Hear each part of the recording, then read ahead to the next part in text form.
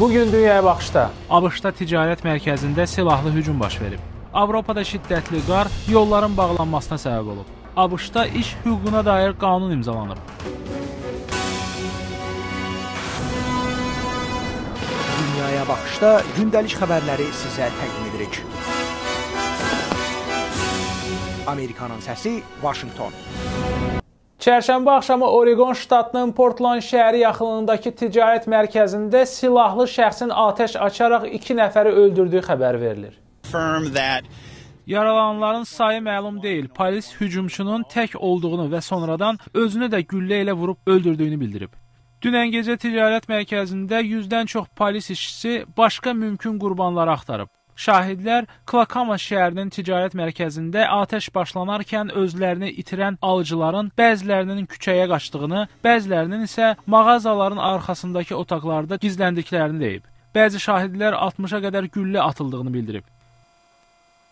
Suriya prezidenti Bəşər Əl-Əsədi istefaya çağıran beynəlxalq ictimaiyyət müxalifətin Suriya xalqını qanunu təmsil edəcək yeni koalisiyanı tanımaq üçün bəyannamə qəbul edib. Bəyannamə layihəsinin bu gün Mərakeşdə keçiriləcək Suriyanın Dostları adlı konfransda qəbul ediləcəyi gözlənilir. 100 nəfərdən çox nümayəndənin bir araya gələcəyi yığıncaqda prezident Bəşər Əl-Əsəd hökumətinin istefaya getdiyi təqdirdə hakimiyyətin kimə veriləcəyi müəyyən ediləcək.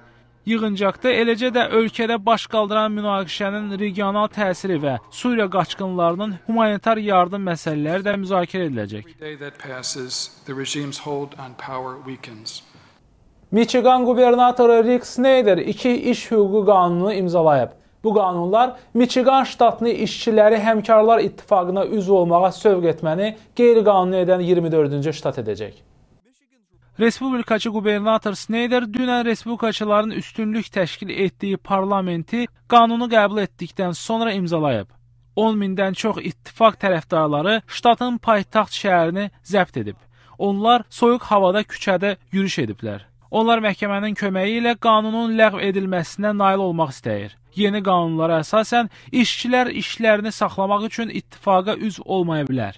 Qanunların tərəfdarları qanunların işçilərin müstəqilliyini müdafiə etdiyini və yeni biznesləri cəlb etdiyini deyib. Lakin Michigan ştatının dövlət nümayəndəsi demokrat Tim Graymel qubernatoru Michigan ştatını Çin kimi azgərili yerə çevirmək istəməkdə təqsirləndirir. Ötən bir neçə gündə Avropada çovğun və şaxtalı temperatur vəziyyəti çətinləşdirib.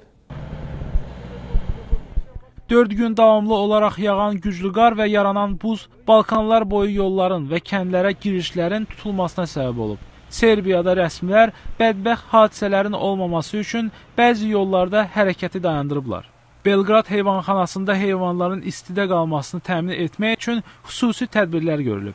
Soyuq havaya davamsız olan cins heyvanlar istiləşdirilmiş yerlərdə saxlanılır. Xorvatiyada yaşlı vətəndaşlara qeyri-adi dərəcədə aşağı temperatura görə evdə qalmaq barədə xəbərdarlıq verilib. Almaniyada güclü qar uçuşların ləğv olunmasına və sərnişinlərin hava limanlarında ilişib qalmalarına səbəb olub. Sərt hava şəraiti bir neçə yerdə ölüm hallarına səbəb olub. Günün mühüm xəbərləri və reportajlarını habelə bloqlarımızı Amerikanın Səsinin veb səhifəsində izləyə bilərsiniz.